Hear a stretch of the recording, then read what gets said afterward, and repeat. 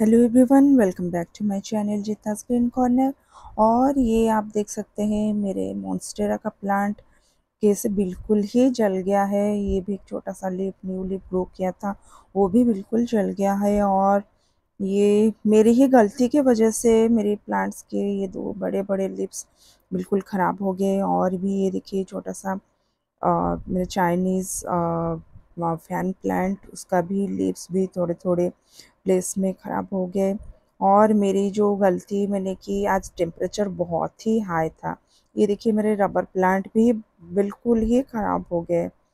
ये बिल्कुल ही जल गया है। तो इतना हाई टेम्परेचर था और इसके ऊपर धूप भी बहुत ज़ोर से गिर रहा था। तो मैं सोची, क्यों ना थोड़ा सा इसमें ठंडा पानी डाल लूँ? तो प्लांट्स इतना बर्न नहीं होंगे। और मैं उसमें डाल ली और दो तीन घंटे के बाद आके देखी कि मेरा लिप्स ऐसे बिल्कुल ही ख़राब हो गए हैं। और ये देख सकते हैं, मेरे एग्लोनिमा का बहुत ही प्यारा सा उसका लिप थे।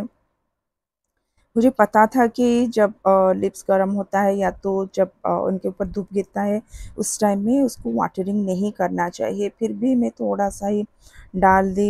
ये देखिए, मेरी गलती की वजह से कैसे हो गया मेरा प्लांट्स तो मैं ये इन्फॉर्मेशन आप लोगों को भी शेयर कर रही हूँ कि जब भी प्लांट्स के ऊपर धूप गिर रहा है प्लीज़ डोंट वाटर दें बिल्कुल ही पानी मत दीजिए।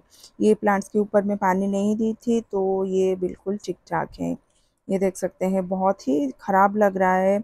मैंने, मेरी वजह से ही मेरे ये प्लांट्स कैसे, उनके लीव्स कैसे ख़राब हो गए, बहुत ही ब्यूटीफुल लीव्स थे।